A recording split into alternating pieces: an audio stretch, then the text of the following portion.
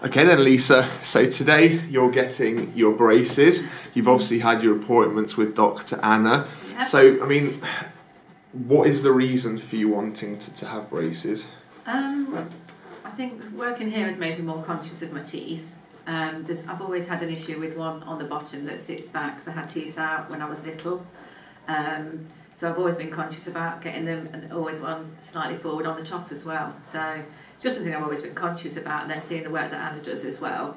Um, she does some amazing transformations and I just thought I wonder what she can do with mine.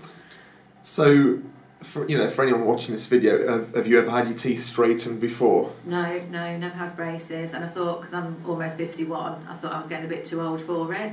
But then I've seen patients that have come in here, um, quite a lot older than me as well, um, and getting the teeth done. So I just thought, hmm, I'd quite like to uh, see what she can do with mine. So, So- you're never too old. Yeah, so obviously you've touched upon on uh, sorry, so you've touched upon age, and um, so is this?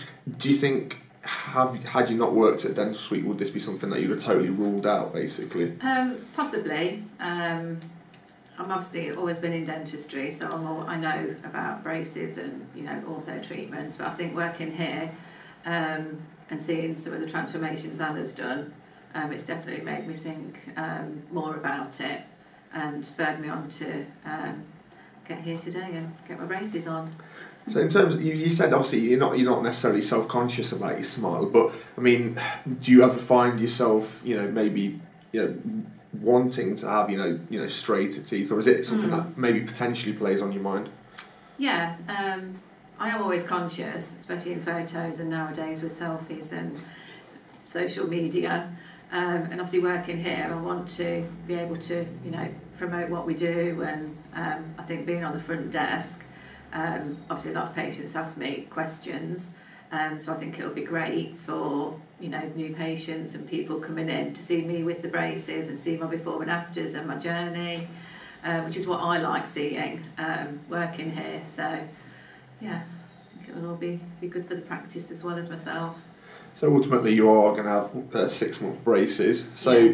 you know, try and put yourself half a year forward. I mean, how do you feel this will end up impacting you? Do you think it is going to have sort of a big impact on Oh, definitely. I mean, I'm I'm a smiley person anyway, but you know, if you've got nice teeth, I think it's a massive um, deal for patients. So, um, yeah, I think it definitely will. Um, I'll be showing everybody and yeah, putting myself out there so everyone can see. Um, and hopefully it'll encourage other people as well, patients, to come forward that have perhaps been thinking about it um, and been nervous about it. So, yeah, I think it will definitely, it'll help me and it'll help with work as well.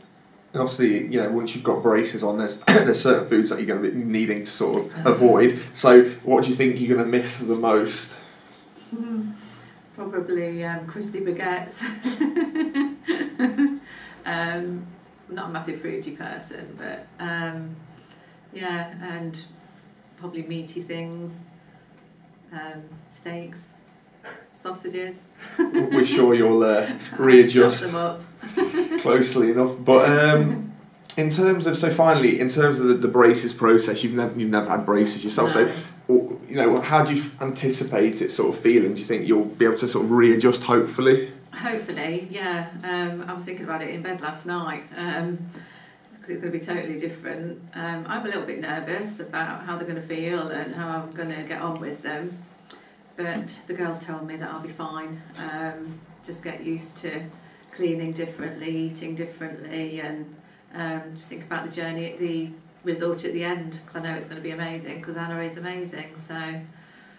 And just finally, last question before obviously we, we see have your braces put on is um, have you told many people or is it going to be a bit of a surprise maybe to those nearest to you? Um, No, I've told a few people. I've not told my daughter yet, so she'll probably be surprised because she had braces when she was a teenager. Um, yeah, my partner knows, and I've told my parents. So um, yeah, they're all behind me.